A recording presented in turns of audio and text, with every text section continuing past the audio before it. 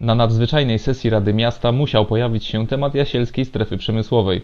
Krzysztof Czeluśniak postawił jednoznaczną prognozę, gdy idzie o jej dalsze losy. Panie burmistrz, mleko się rozlało, strefy nie będzie. Ryszard Pabian zaznaczał jednak, że rezygnacja z dofinansowania ze względu na niekorzystne zdaniem miasta warunki nie jest tym samym, co rezygnacja z realizacji projektu.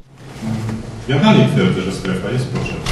To nikt nie- nie powiedział, że nie, tylko nie na takich warunkach. Radny Czeluśniak wskazywał z kolei, że inne miasta nie uznały warunków ministerstwa za niekorzystne. Inne miasta, proszę zobaczyć na Rzeszów czy Mielec, i dają radę. Mimo nalegań radnego, na jego pytania zamiast pani burmistrz odpowiadał Ryszard Pabian. Proszę zobaczyć na Krosno i na, na informacje, jakie dotyczyły Krosna.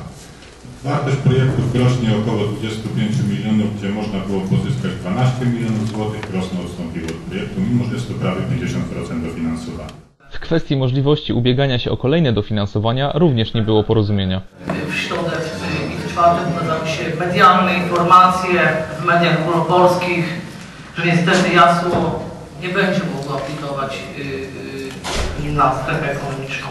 No, ten wniosek można złożyć we wrześniu, natomiast do 28 czerwca ma być ogłoszenie o możliwości ubiegania się. Nie do końca jasna, choć przecież miasto ją nam naświetla. Czy taka właśnie jest jasielska droga do strefy przemysłowej?